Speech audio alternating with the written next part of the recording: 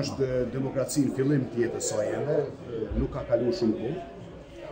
Mirëpo mendoj se nëse i kemë parasysh edhe shohim historinë e popujve tjerë, se sa kohë ju ka marrë, me qindra vjet, prapë se prapë Kosova po e zënë shpejt për shkak të rrethanave në të cilat është ndërtu, për shkak të kohës në të cilën e ka fillu jetën e vet demokratike.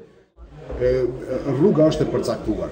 Rruga e Kosovës është e përcaktuar, do të jetë demokraci përgjithmonë, do të jetë vend i cili synon integrimin në Unionin Evropian dhe NATO, do të thotë një vend i cili i takon botës perëndimore.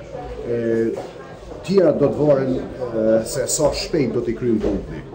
Këto janë tema të zorshme, mirëpo mendoj se elementet ose fenomenet më të dëmshme për demokracinë janë korrupsioni dhe krimi i organizu, ndërsa demokracinë e mbajnë gjallë njerëzit e vullnetit të mirë, njerëzit e Kosovës, ata të cilët besojnë në këtë sistem, të cilët dojnë me e çu Kosovën përpara, mendoj që janë shumica dërrmuese e qytetarëve të Kosovës.